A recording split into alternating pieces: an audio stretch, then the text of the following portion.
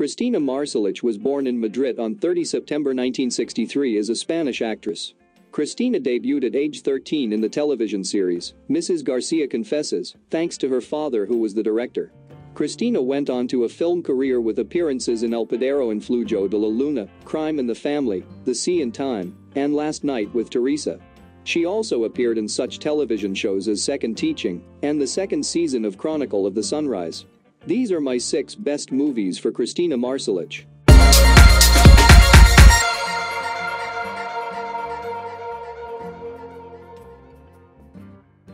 At number 6.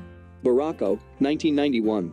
Examines the place of human emotions in the modern world of telecommunications through the relationships of Valeria, a student in fine art restoration.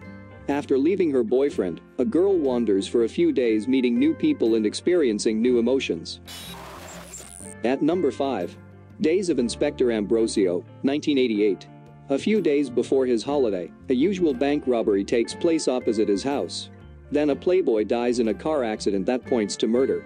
A timid violinist and his drug-addicted daughter were closely involved with the victim. Can he clear his desk in time for his break? At number 4. Marrakech Express, 1989. A Spanish girl, Teresa, comes to Milan to meet Ponchia, Marco, Paolino, and Cedro, who haven't seen one another in years. Her man, their old friend Rudy, is in jail in Marrakech and needs help and money. The five decide to drive to Morocco to get him out of trouble. At number 3. Opera, 1987.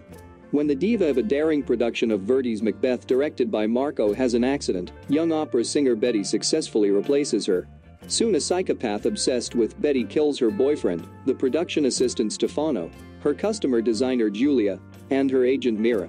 Inspector Alan Santini, who is her fan, gives her protection, but the murderer always gets close to her. Who might be the killer? At number 2. Every Time We Say Goodbye, 1986. An American pilot in Jerusalem during World War II falls in love with a Jewish woman while he is recuperating from a serious injury. At first, he resists the intriguing Mediterranean beauty, but soon becomes locked in a powerful love affair that goes against the grain of heritage and tradition, causing friction in her family. At number 1. The Trap, 1985. Story of a man who in the past seduced a young girl and then left her. He meets the girl years later and they make love again. He wakes up to find himself tied to the bedpost. The woman is mad and has set a trap for him. Both the woman and her daughter keep him tied up. Hey there folks, thank you for watching to the very end. Please always stay tuned, subscribe, like and share to your friends. Thank you for watching and I'll see you again next time.